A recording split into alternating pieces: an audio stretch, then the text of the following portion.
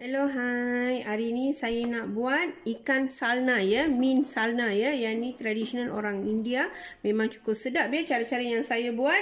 Okey, sekarang saya nak tunjuk step by step dulu ya. Okey. Bahan-bahan saya ambil ikan ya. Saya gunakan ikan bawal emas ya. Terpulang pada masing-masing ya. Tak kisah ikan jenis apa pun kita boleh gunakan ya. Saya gunakan ikan emas ya. Bawal ya. Dalam sekilo. Saya ambil dalam sekilo. Ni kelapa saya ambil kelapa parut yang putih sahaja ya. Kelapa kecil saya ambil. Saya ambil yang bahagian putih sahaja ya. Bawang saya ambil dua biji bawang besar. Yang ni uh, ketumbar ya untuk kisar ya. Saya ambil uh, dalam satu genggam sahaja. Yang ni gajus dengan badam ya. Satu sudu besar gajus, satu sudu besar badam ya. Yang ni kena rendam selama setengah jam. Tomato dua biji besar, iris dengan nipis. Uh, yang ni uh, yang ni uh, lawang, lawang, cengking, uh, uh, pelaga, yang ni bunga jawatri ya. Saya ambil dalam satu dua helai saja. Kayu manis saya ambil dalam uh, kecil terlalu kecil ya. Kayu manis jangan ambil besar sangat macam ni kecil-kecil dalam dua, tiga pun dah cukup ya.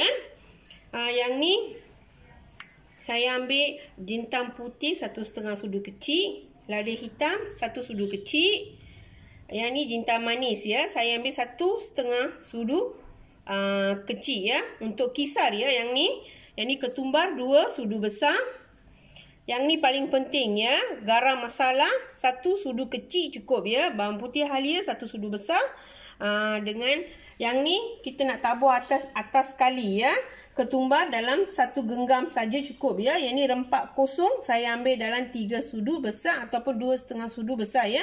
Terpulang pada masing-masing. Kalau nak pedas boleh ambil tiga sudu.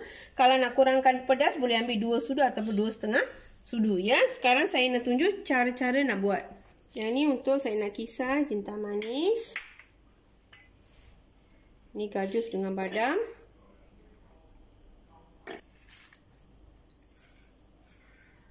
Kalau siapa tak suka tak suka nak gunakan uh, daun ketumbar boleh ganti pada daun pudina satu genggam ya. Kalau tak suka ya. Kita masukkan kelapa. Kisar dengan halus ya. Mesti kena kisar dengan halus. Kita nak gunakan air sikit saja. Air yang kita rendam uh, gajus ya.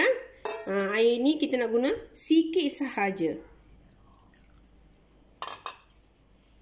Okey, sekarang dah cukup ya. Kalau tak cukup air tu, kita tambahkan saja sikit dia. Jangan terlalu banyak sangat. Kita nak pekat macam ni ya. Masa kita nak masuk pada tumisan, kena pekat macam ni. Baru kuah kita sedap ya. Okey, ketepikan dulu. Okey, sekarang saya nak gunakan minyak bijan ya. Macam biasa, saya gunakan minyak bijan. Bagi dia panas dulu. Okey, saya nak masukkan semua. Um, empat sekawan ya. Masuk sekali. Lepas ni terus saya nak masukkan bawang. Bawang ni jangan garing sangat ya. Lepas dah layu, ha, kita masukkan bawang putih dengan halia yang telah saya dah kisar tadi ya.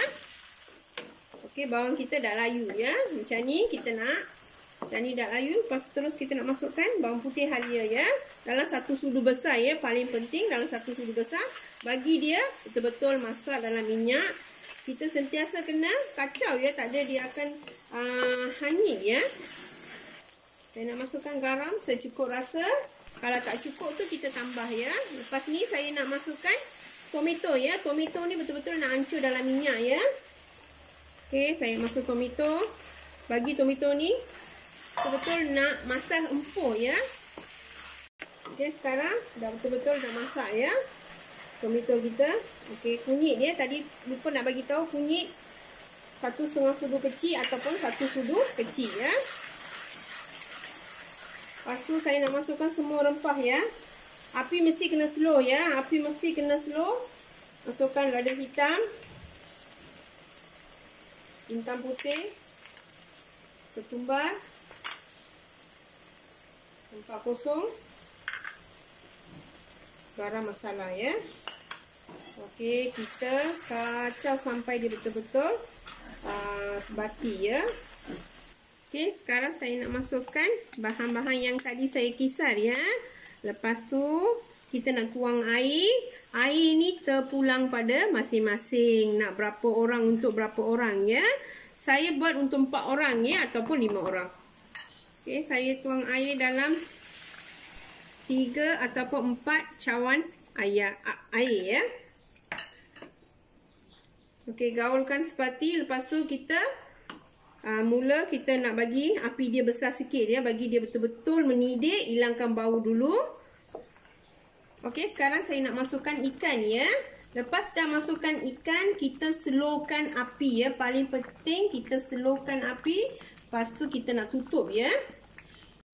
Okey, lepas ni saya nak tutup uh, atas ya. Supaya dia nak masak selama 10 minit cukup ya. Tunggu selama 10 minit. Okey, sekarang dah cukup 10 minit.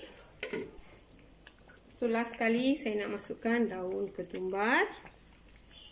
Dan offkan api ya. Okey, sekarang dah siap ya. Ikan salna kita memang cukup sedap ya. Makan dalam roti canai, tose, capati, nasi. Memang kelas ya. Siapa yang belum cuba resipi saya ni, boleh cuba dekat rumah ya. Selamat bercuba.